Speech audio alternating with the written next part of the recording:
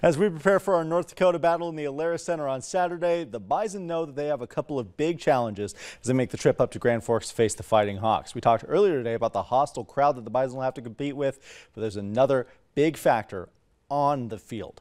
The Bison defense is preparing to go head to head with a Fighting Hawk offense that, that, has performed at an extremely high level all season long. Not only do they have an experienced quarterback in the form of Tommy Schuster, but there are a ton of weapons at receiver, running back, and even tight end for the Hawks.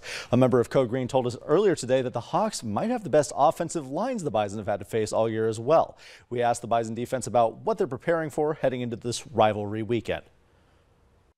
They're extremely talented. Uh, I believe their quarterback has thrown zero interceptions this year. I believe he hasn't been sacked this year. Um, he's quick, he's athletic, he's able to get out of the pocket, and so starts up front with our D line. They're going to have to do a great job of getting to him, getting home on him, which I have no doubt that they're going to do. And it's going to be a big test, um, but we're excited and we're going to be working our butts off this week to, uh, to be prepared for them. Now, the Bison have seemed to have an answer for the UND offense since they resumed their rivalry back in 2015. North Dakota State is 5-0 against the Hawks in that span. We'll see if history repeats itself or if the Hawks can break that streak this Saturday up in Grand Forks. Some high school volleyball action tonight in an EDC showdown. The Davies Eagles winning nine of the last 10 games, looking to keep that going against Sheyenne. They're off to a big run to start this one off. They're up 7 0 and the front row is going to add to that. Leah Lockway with a brutal block eight unanswered points to start this one off for Davies. They would hold a double-digit lead at one point in the first set, but Sheyenne's starting to battle back here. The setup to the outside, Jada Langlois fires the kill shot to the back row. Mustangs cutting that lead to just five.